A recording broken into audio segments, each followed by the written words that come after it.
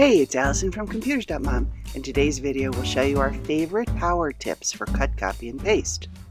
Cut, copy, and paste is a group of tools that allow you to move information around on your computer in just four quick steps. Select the stuff you want to organize, cut or copy the selection, move to the location where you want the stuff to go, and paste to put it there. If you're not super comfortable with those four steps, you might want to start with our Cut, Copy, and Paste Essentials video, which you can access from the link above. But if you're with me so far, you may also know that there are multiple ways to do each of these steps. We're going to look at a bunch of them. Some should be familiar to you, and some I hope will be new. Don't worry if you miss something, because you'll find a complete recap at the end of the video. So let's dive in. Selecting is, of course, the first step where you choose the stuff you want to cut or copy, and there are tons of different ways to do it. If you're selecting text, you can select a single word by double clicking on it, a longer section by clicking and dragging, but did you know that you can also select text from the keyboard? It's quick, it's easy, and it gives you very precise control. Just position your cursor at one end of the stuff you want to select, hold down the Shift key on your keyboard, and tap the arrow keys to move your cursor to the other end of the selection. When you're done, just release the keys. To select everything in this document, you can also choose Select All from the Edit menu. Let's blow it up so you can see better. Of course, you also have options on this menu for Cut, Copy, and Paste. But if you look carefully at the Edit menu, you'll see that next to each of those options is listed the equivalent keyboard shortcut. So instead of opening the Edit menu, you could use the keyboard shortcut for selecting all the text, which is Control A or Command A for all. That funny little squiggle, of course, is the symbol for the Mac Command key. If you memorize just a few of these basic keyboard shortcuts, they will save you a huge amount of time and effort. A quick note about keyboard shortcuts. This video is intended for users of any type of computer, Windows, Mac, Chromebook, Linux, you name it. Most keyboards use a layout like this, but Mac keyboards are a little different. So when we talk about keyboard shortcuts, on a Mac you will use the Command key, on a Windows computer or anything else you use the Control key. Keyboard shortcuts are typically written like this, Control plus some letter or Command plus some letter. That does not mean that you hold both keys down, nor do you type the plus sign. No, no, no. All you do is hold the first key down and tap the second key. Once you've tapped the second key, you can release both. So it looks like this. Got it? Okay, let's continue with our selecting. So far, we've only talked about selecting text, but what if you're trying to organize a bunch of objects like files and folders or emails or photos?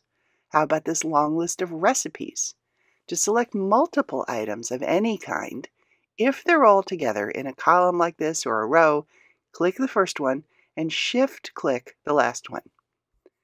If they're scattered, that is not next to each other, hold down the Command key on a Mac or the Control key on anything else and click each of the items you want. And to select all of them at once, use the same keyboard shortcut we used for text, Control A or Command A on a Mac.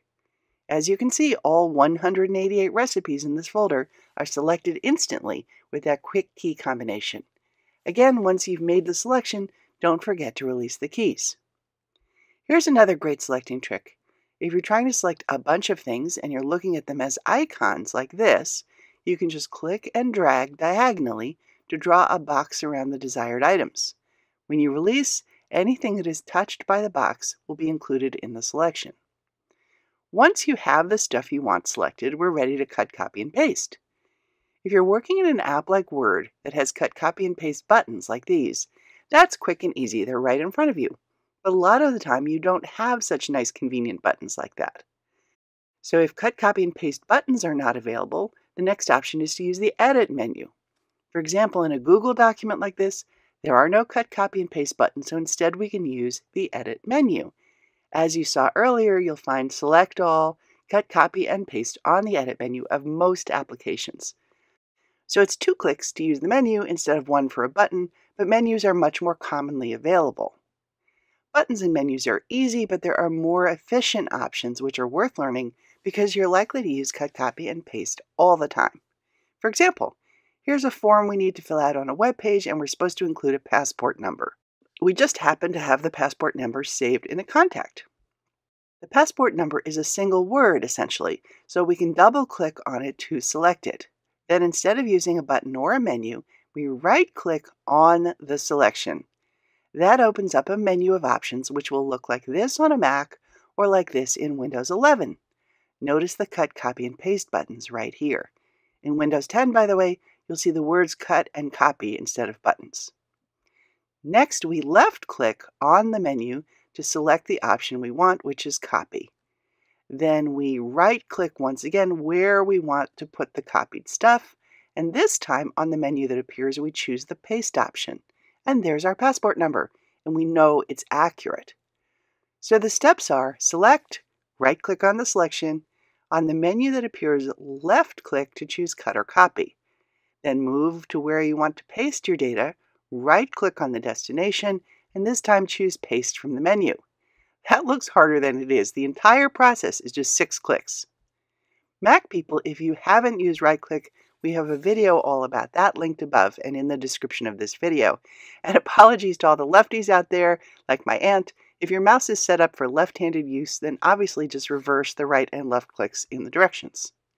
And finally, my personal favorite option for cut, copy, and paste is to use the keyboard shortcuts. On a Mac, remember, each keyboard shortcut we're talking about will use the Command key plus a letter. On Windows or Chrome, it will be the Control key. The only problem is that you have to remember which letters to use for which operation, but that's easier than you might think. So if I wanted to cut the selected text from the keyboard, I hold down the Control key and tap the letter X. Easy way to remember this one is that X looks like an open scissors cutting. Similarly, to copy selected text, hold the control key and tap the C. That's C as in copy, so it's easy to remember. And then when you're ready to paste, the keyboard equivalent is Control V or Command V on a Mac. There's no obvious memory trick for the letter V, but as you can see, the X, C, and V are all right next to each other on the keyboard, so that helps.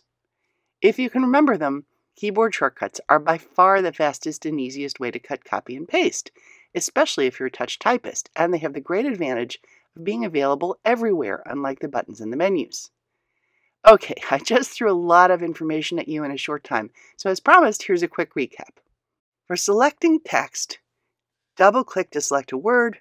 If it's more than a word, click and drag. From the keyboard, hold the Shift key and use arrow keys to select.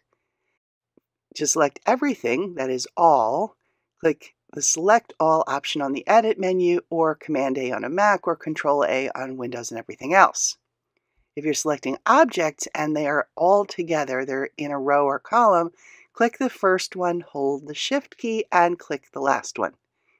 If they're scattered, hold the Command key on a Mac or the Control key on anything else and click each individual item. Or click and drag diagonally to select everything that's touched by the invisible box you're drawing.